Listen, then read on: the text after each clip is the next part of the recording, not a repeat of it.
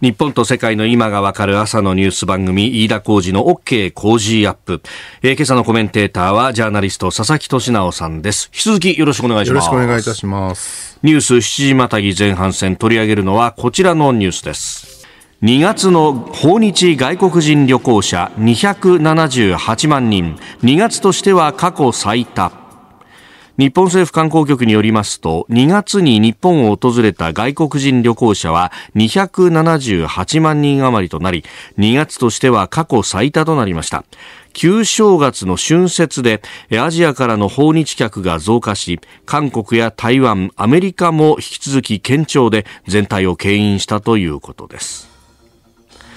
まあ、コロナ禍を経てというところですけれども、まあ、一月として最も多くなっている。そうですね。まあ、日本もね、コロナ以前、ね、ずっと観光立国目指すっていうんで、はい。ね、年間で本当6000万人とかね、そのぐらいの観光客を入れたいっていう話をしてたんだけど、だんだんこう、増えてくると逆に僕はね、圧力も高まってくるんじゃないかなっていう心配もしていて、知り合いで、ね、北陸に住んでる人この前会ったら話してたら、最近あの、温泉あるじゃないですか、日帰り温泉。温浴施設が行くと外国人がむちゃくちゃ多くて、でそれだけならいいんだけど、なんかやっぱね、こうルールも守らないやつが多いんだよって怒って、風呂場で泳いだりとか。ああ、大きな浴槽でっていうと、そう、プールみたいに見えちゃいますもんね。あと、かけ、あの、お湯かけしないしないで入ってきたりとか。そのまんま入ってきちゃうと。で、まあ結構、ね、今地方の温浴施設とか言うとね、あの、英語で、ああの、はい、風呂の入り方みたいなね、説明が来たんだけど、えー、まあ見ないですよね、そんなもんな、いちいちねっていうね。そうですよね、うん。だから今後ますます増えてきて、でね、まあ有名観光地だけじゃなくても、オーバーツーリズムでは京都とか問題になってるので、もっといろんな範囲のいろんな地方にね、外国人がやってくるのは、それはそれでいいことなんだけど、ここの圧力をね、どうかわすのかって多分今後結構大きな課題になってくるかなっていうね。そうですよね。しばらく前にあのツイッター現 X ですね。はい。で話題になってたあの議論があって、ええ、日本ってほら無宗教だってこうみんな思ってるじゃないですか。別に宗教信仰してないよね。でも日本人の宗教って、いわゆるそのキリスト教とか仏教とか、そういう分かりやすい宗教じゃなくて、はい、なんか日常生活へのこだわりが宗教なんじゃないかっていうね。つまり日常生活にさまざまな秩序があるじゃないですか。例えば、電車のホームで、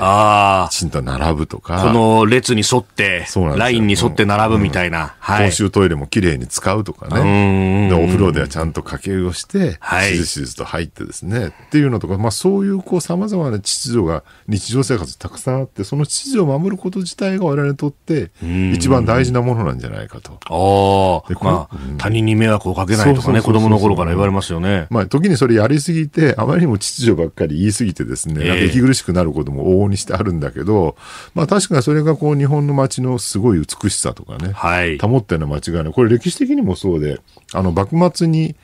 外国人、欧米人がたくさん日本にほらやってきたじゃないですか。幕末から明治にかけてね。はい、あの頃のあのことについて渡辺教授さんって有名な歴史学者が、当時のそのいろんな文献まとめてるんだけど、はい、多くのね外国人が日本に来て驚いたのはなんて綺麗なんだっていうね。もう街街にゴミ一つ落ちてない。田舎に行って例えばある植物学者が欧米から来た雑草の研究しようと思って、はい、田んぼのあぜ道とかの雑草を取ろうとしたから、したら、田んぼのあぜ道に雑草が一本もない。すべて抜かれてるっていうね。もう見事なぐらいにね、清潔で美しい街だっていうね。まあ当時19世紀なんてね、どこ世界中どこでも大体汚かったわけで、で日本の美しさは群を抜いてたみたいな話がある。でやっぱそういう DNA がね我々のね、民族にはあるらしくてね。でこれはこれでまあある意味日本が世界に観光立国するために一つこう売りになるところではあるんだけど、はい、その売りになるところが逆にまあ、我々にとってはそれ息苦しくもあったりするんで、ちょっと面倒くさいなと僕は個人的には思うんですけどね。うん、でも一方で外国人がガンガン入ってくると、その売りが崩れていくっていうね、はい、そこのバランスをね、今後どうするのかって結構、あんまり議論になってないんだけど、えー、あれに重要な問題なんじゃないかなと思うんですよね。確かに有名観光地ではそういう部分っていうのが、うん、それこそ富士山なんかも、これはもう入山規制というか、うん、数をこう制限しないと、人も増えちゃうし、それでゴミとかも大変なことになるっていう話、ね、いや、ゴミ箱問題だってほら、日本ってゴミ箱ないじゃないですか。あの、で、それこそね、ねこの地下鉄サリン事件があったりとかで、うん、駅からゴミ箱がどんどん撤去されてっていうのが最近だって東京メトロもちょっと前までゴミ箱あったのに、はい、なんか突然なくなりましたよね。いや そうだ、この時期大変なんですよ。花粉症で、このズビズビになったティッシュを 一体どうしたらいいんだと。ビニール袋持ち歩いて、収めて収めて持ってないと。もうこれで、いつまで手で握ってりゃいいんだみたいな。手の中でカビカビになりそう。そうそうそうそうそうそうそう。汚い話ですよ。朝からすいません、こんな微妙な話で。でもね、実際問題としてね。いや、でもこんなにゴミ箱ないのに、街にゴミ落ちてないって異常なじゃ異常じゃないですか。外国人が見たら気が、あのね、経典同士だと思うんだけど、だこういうのもね、だから今後外国人増えてきたらゴミ箱どうすんな問題とかね、でみんな家に持ち帰りましょうとか、なんか前もほら、サウジアラビアかなんかのテレビ局が日本を取材したっていうのが話題になってて、はい皆さんこんなにゴミが落ちてないですよってね、こう。それがニュースになる。ニュースになって、で、公園かなんかでカップルがね、こうベンチに座ってお菓子かなんか食べてる。はい、後ろから隠し撮りしてて、うん、あ、今ポテチが床地面に落ちましたと。うん、拾ってますと。そのままにしない。そう。それがニュースになるらしい、ね。確かに、そういうのって他の国ではないんだこの生活文化がね、素晴らしいってのはやっぱ外国人にとっては驚きらしいんだけど、これをね、外国人増えていく中でどう守って美しいにを見せていくかっていうのは、ね、もうちょっとね、僕はね、これ国を挙げて観光庁とかが取り組まなきゃいけない。なるほど。実は問題なんじゃないかと。みんな何も言ってないけど。確かにね、うん、そもそもその価値に気づいてなかった、ね、気づいてない。ね、そんなね、クールジャパンとか言ってる意味があったらそっちを守れよ。なるほど。えー、ニュース7時またぎ、まずは訪日外国人旅行者数2月過去最多というニュースを取り上げました。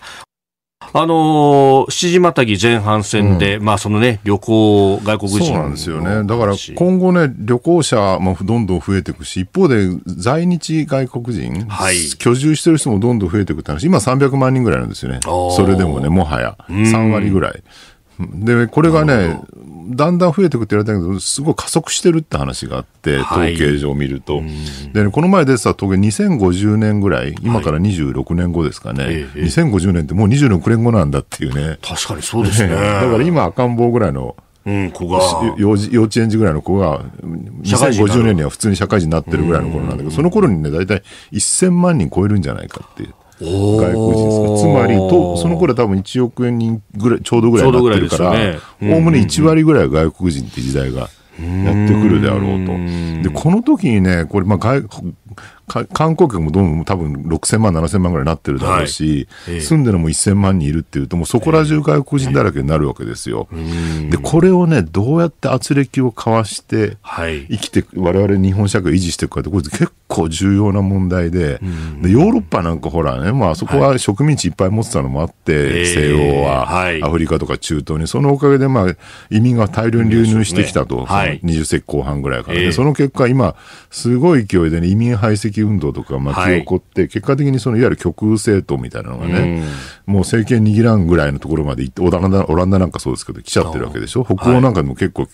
右派政党がどんどん勢力を伸ばしてるって話があると。はい。で、これでも行き過ぎるとやっぱりそういうことが起きちゃうわけですよね。で、日本でも、まあそこまで騒ぎになってないんだけど、川口市のクルド人問題とかね、ちょっと若干騒動になってるケースもあったりとかして、うん。はい、これをどうかわすのかと。で、ヨーロッパで、ね、最大の問題ってやっぱりその仕事が奪われるみたいなところと治安が悪化するってこの2点なんですよね。はい、で、日本の場合ね、多分そこまで仕事が奪われるって話にはならないであろうと。で、一つはね、まあ、その旧植民地っていうのはほとんど日本にはあるんだけど、まあそれはほんの一瞬であって、そのヨーロッパほどの長い歴史を持った植民地文化は作ってないから、その旧植民地から移民を受け入れなきゃいけないっていう、そういう抑圧というか、それはないわけですよね、まあ、彼らが来るインセンティブとして、言葉が通じるから住みやすいんだっていうのがある、うん、でも日本の場合はそうではなくて、うん、まあ、結構こう、ね、地まあ、期間も短かったってもあるんですけど、うん、そこまでじゃあ日本語が浸透したかというと、そうではなかそういうことはないので、多分、ヨーロッパほどの抑圧はないであろうと、うん、圧力がね。って考えると、まあ、あと、まあ、高規格移民と言われるような、その、いわゆる、まあ、知的な仕事に就く人が増えてくるっていう期待もあって、収入も高い人たち。で、仕事の奪い合いで大騒動になるってヨーロッパのような状況になりにくいかなと、個人的には思ってるんですよ。ただ一方でね、さっきその、観光客が増えてくるって話に出てきたように、はい、その生活文化の違いとかね、その秩序を乱すことに対する抵抗感は、多分ね、今後外国人どんどん増えていくことにむちゃくちゃ高まってくる可能性があるんじゃないのかなっていう、ね、で川口市の問題も決して仕事がなくなるとかその話誰も言ってなくてやっぱりそれ治安に対する不安だったりとか、はい、そこの問題でしかないわけで、はい、ここをねどうやって軟着陸させていくかっていうねこれ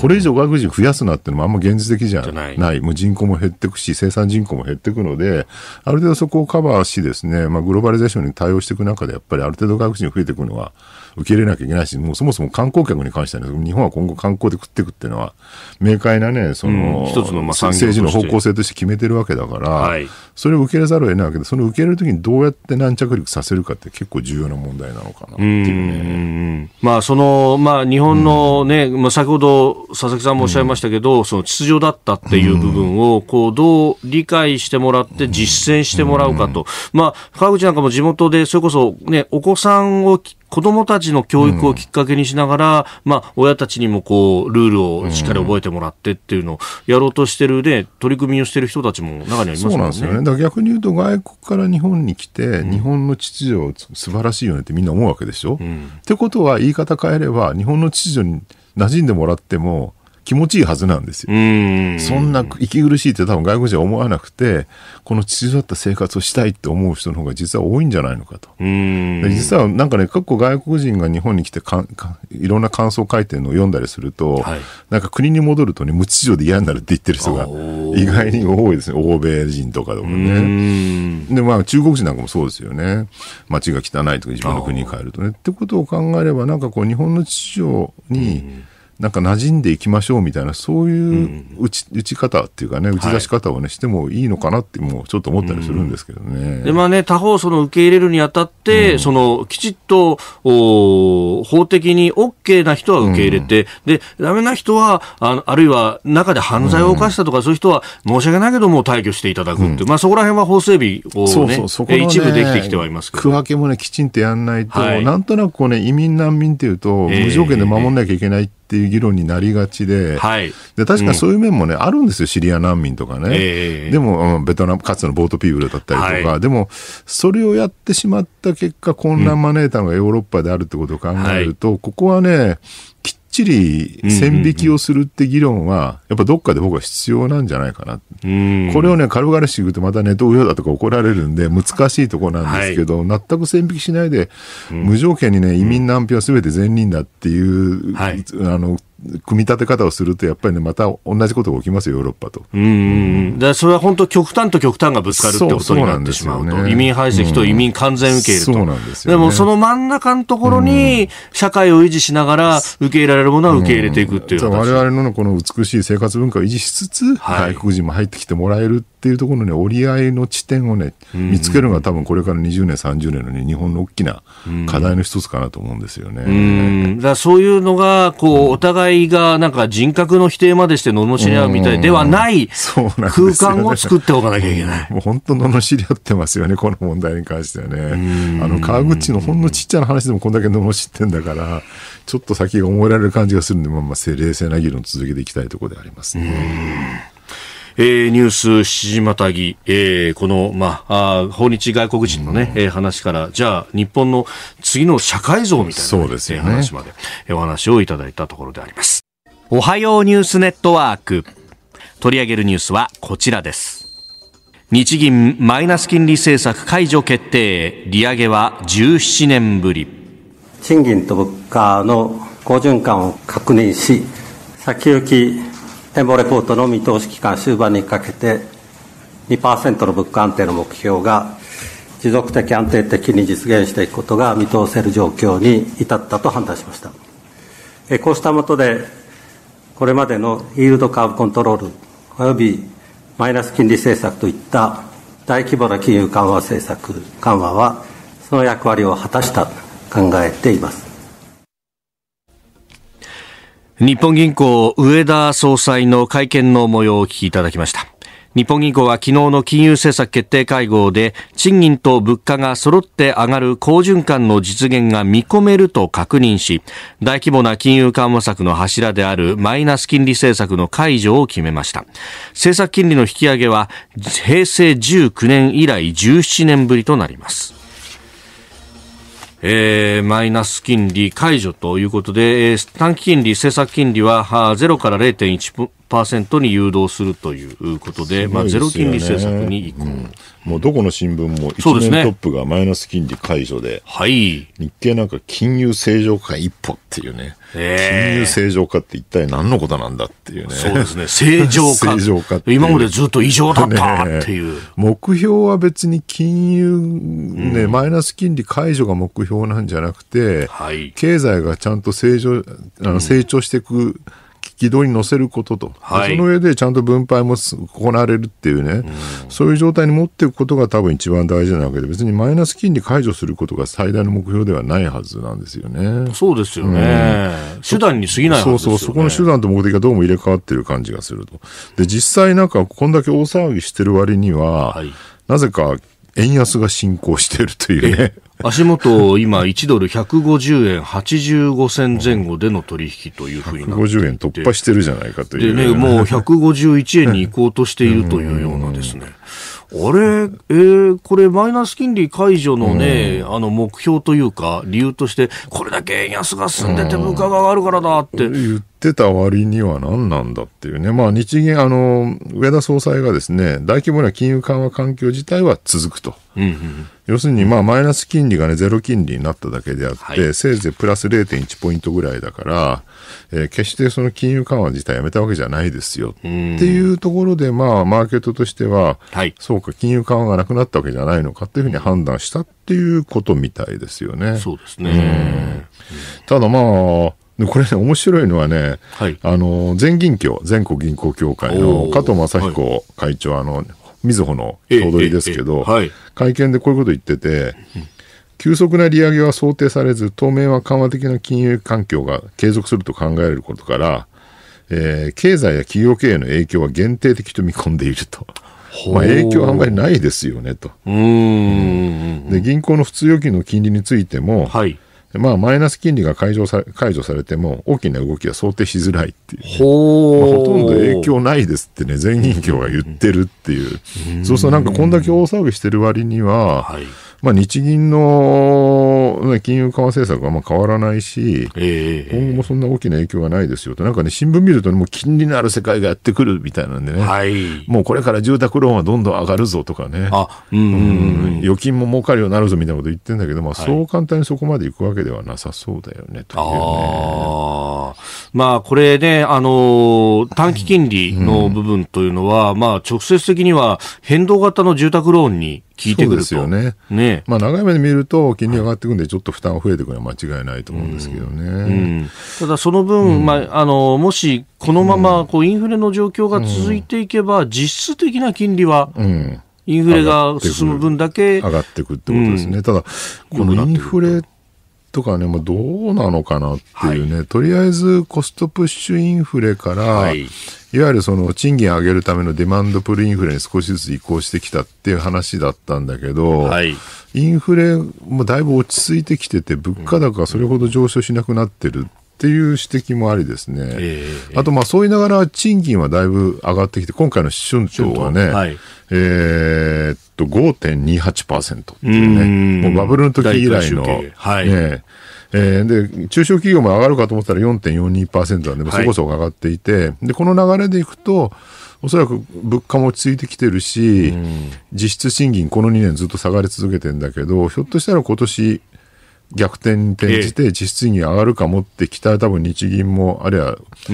ー、岸田政権もしてるのかなというところが多分このマイナス金利解除の背景事情として一つあるんだと思うんですけどね、うん、昨日の上田さんの会見の中でも、うん、まあ、やっぱり中小企業も結構こう賃上げしてるじゃないかっていう数字が出たのが後押ししたというようなね、ただね、見てるとね、ちょっとインフレが収束しつつある感じもあって、はい、そうなってくると、えー、っとね、実質賃金は上がるかもしれないけど、経済成長に結びつくのかっていうと微妙な感じだよねと。でね、僕は思うんだけどね、これ、実質賃金下がって下がって2年間大騒ぎしてたじゃないですか。はい、物価も上がってるっていうね。えー、ちょうどね、昨日読んでた記事でね、そのセブンイレブンが最近500円以下のお弁当増やしてるってニュースがあって、でずっとねそのローソンファミマは悪い値段低価格路線なんだけどセブンイレブンは強気で600円台とかの,、はい、あのいわゆる高級弁当路線でやってきたら、そうでしたね、やっぱりコロナ禍以降売り上げが他のローソンファミマと比べて落ちてるっていう。で結局それは安いものを消費者が求めてるからだと。物価高でね、はい、なのでどうもこの今年入ってぐらいから、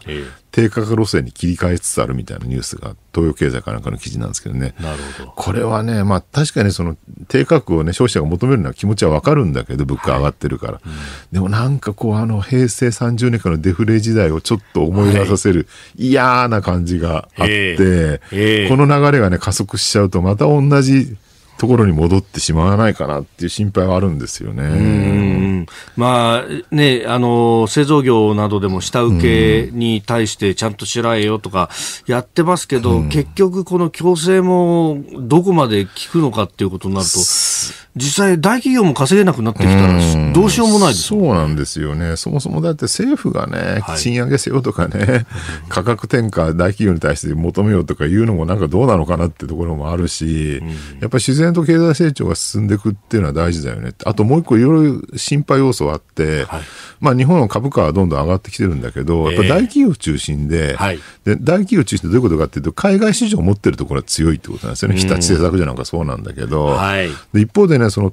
東証グロースみたいなスタートアップの上場企業を見ると、まあ、国内市場中心じゃないですか、はい、で株価はあんま上がってないって話があって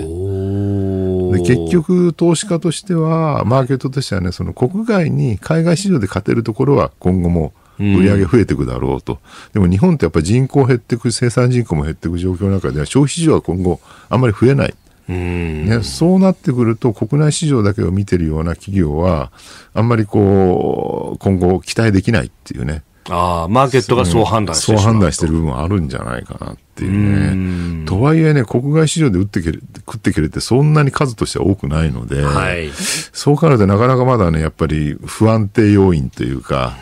ちょっとね、希望の持てない要因もまだまだたくさんあるので、あんまりここでね、そのマイナス金利解除で、それがそのまま金利をね、上げて引き締めに行くっていうのは、ちょっと微妙な状況なんじゃないかなって感じはしますね。さあ、そしてもう一つ用意していたニュースは、セキュリティクリアランス法案です。えー、衆院本会議で審議入りとなりました。まあ、重要な情報へのアクセスを国が信頼性を確認した人に限定するというもの。うんこれ、これまでの特定秘密保護法ってあったじゃないですか。はい。10年ぐらい前に、えーえー、法律ができたやつ。あれとどう違うんだみたいな話があるんだけど、うん、あの、特定秘密保護法はあくまで公務員とかね。はい。そこに限られてたんだけど、えー、このセキュリティクリアランスはそれ民間の企業でも対象にしましょうと。うん、で、なんでかっていうと結局、今、経済安全保障とかが問題になっていて、はい、同盟国、同志国同士で、えー、経済回そうみたいな話になってくる、うん、そうすると国をまたいでね、共同開発みたいなのがすごく増えてきてるんだけど、はい、安全保障に関わるところでね、その日本の企業が、えー、同盟国、同志国の企業と、えー、一緒に協力できないっていうね、あなた資格持ってないんだったら、この情報は見見せられませんよ。そうなんですよ。え、それ、それ見せてくれないと作れないんだけど、うん、じゃあ作んなくていいですみたいな。そうなんですよ。だからまあ、それは他の国みんなやってるんだから、日本も合わせてやりましょうって話で。これこれもね、またね、あの、特定秘密保護の時と同じで、大騒ぎする人がたくさん現れてきていて。居酒屋で話ができなくなるとか。でもあの2014年の時もあんだけ大騒ぎしたんだけど、別にその後なんかね、居酒屋で談義できなくなった人がいたかっていうと、誰もいないわけですから他の国もやってるところ日本もやろうって言ってるだけなのに、はい、日本だけがまるでね、ええ、なんか独裁国家のね、えー、何も集会できなくなるような国になるなんていう誤解はちょっともういい加減やめてほしいですよねこれね。まあね、もちろんこの法案の中にその、うん、ハニートラップがどうかとか、いろいろこう、不備な部分はあるぞっていうのは野党からもね、まあ、国民民主党の玉木さんなどして、かなりプライバシーに踏み込んだ質問もされるらしいですよね。えー、その薬物使ってるかどうかとかね。えー、続いては、ここだけニュース、スクープアップ。日本版 DBS 法案閣議決定。政府は子どもに接する仕事に就く人に性犯罪歴がないかを確認する制度。日本版 DBS を導入するための法案を昨日閣議決定し国会に提出しました。学校や保健所それに学習塾など子どもに関わる施設で性犯罪の被害が後を絶たないことを受け犯罪歴を最長で20年紹介できることなどが柱となっております。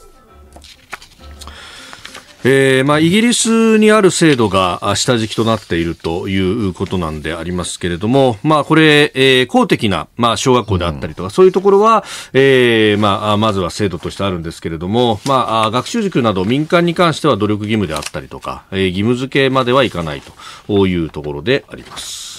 これ、権利とのね、兼ね合いどうするかってのは結構難しいところで、はい、まあ、刑期が普通終わったんだったら、うんうん、それで制裁は受けて、受け終えてるわけだから、はい、それ以上なんかね、制限すべきじゃないっていう意見もあったりとか、うん、でも一方で性犯罪ってのはやっぱり、どうしてもまあ一緒に比べるのはあれだけど、薬物犯罪とかって似ていて、本人の意思にかからず、どうしてもそこに引き込まれてしまうみたいな問題があるので、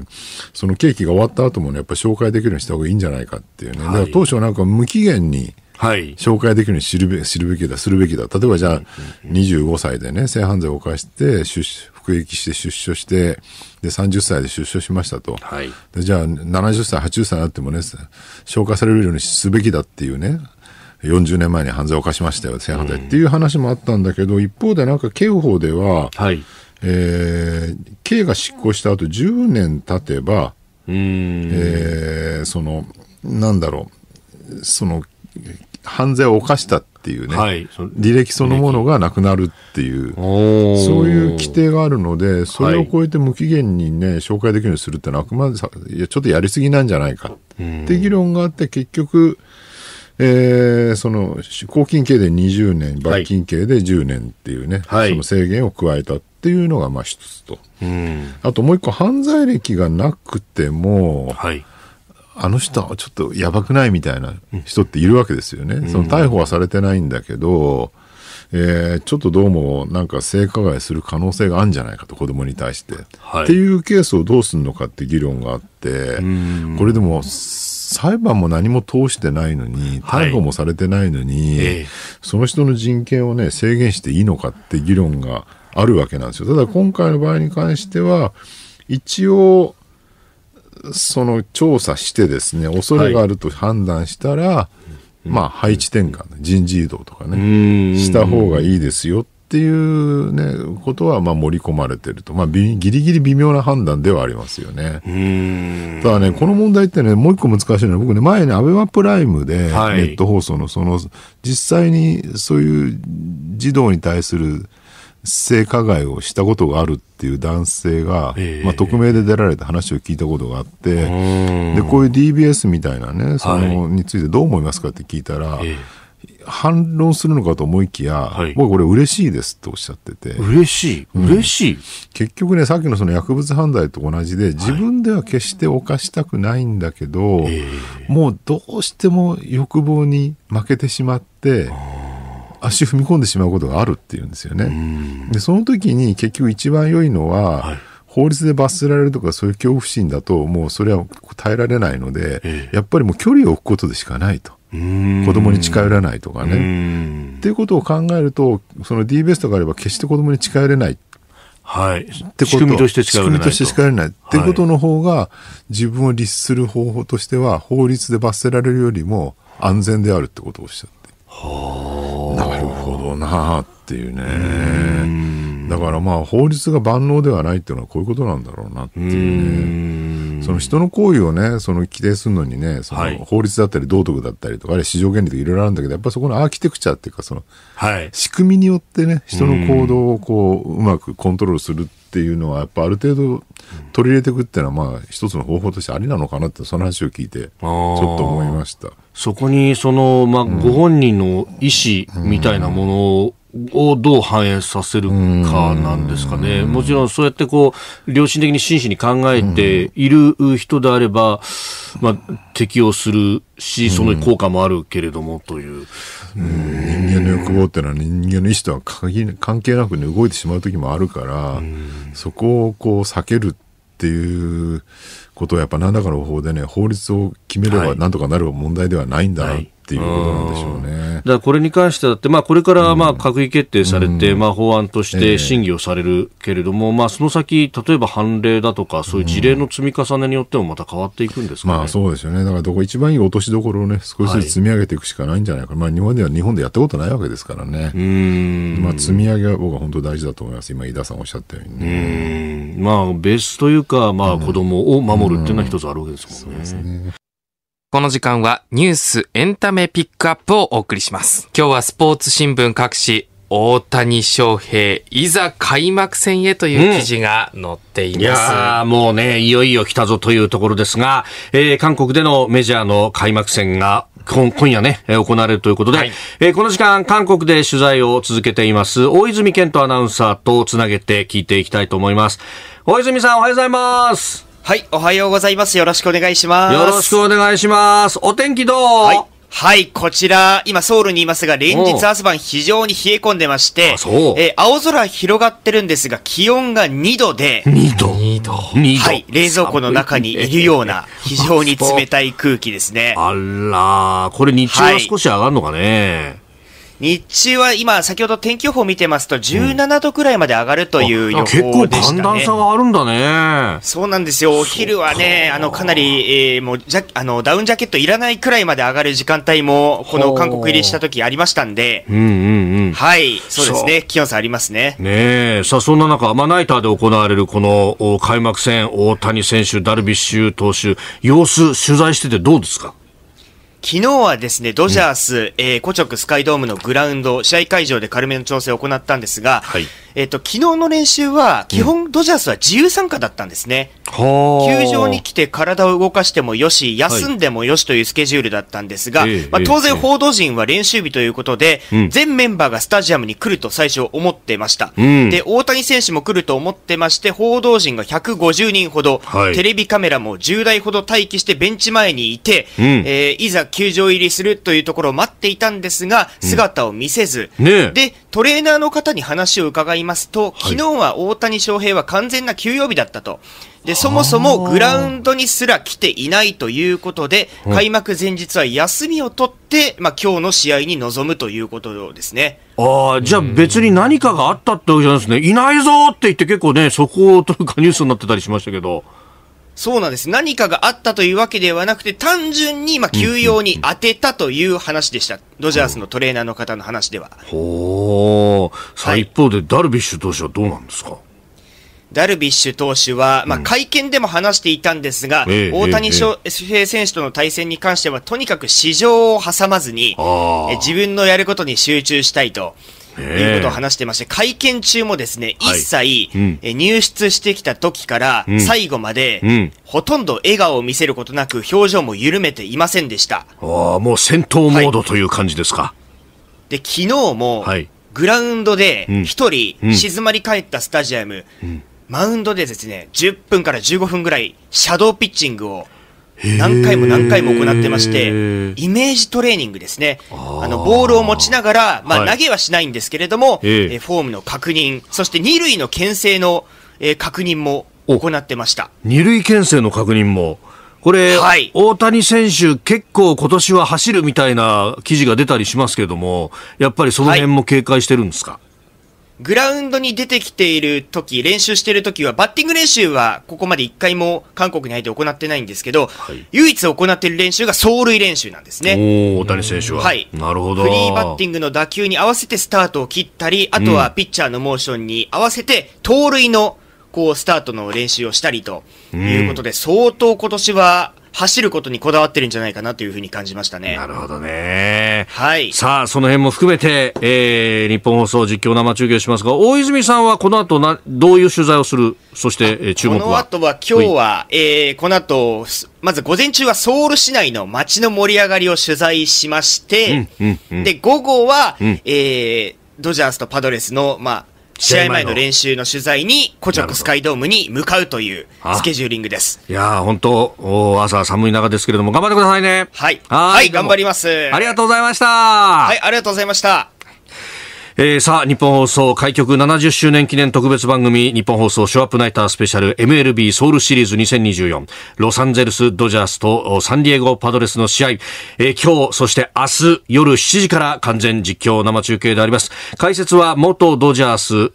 の石井和久さん、そしてベースボールコメンテーター、秋野さん。えー、実況は今日20日水曜日が諸岡正夫アナウンサー、えー、21日明日木曜日は荒井川裕二アナウンサーであります。いや楽しみだね。楽しみですね。ね走る大谷なのか、打つ大谷なのか。いや、まあでも、まずは打つ大谷が見たいですし、まずね、ダルビッシュ投手とのこの日本ハム、からの。そうだよね。を持った二人の対決。同じ背番号を背負った11番、はい、ね、抑えるダルビッシュなのか、ぜひ日本放送でお聞きください。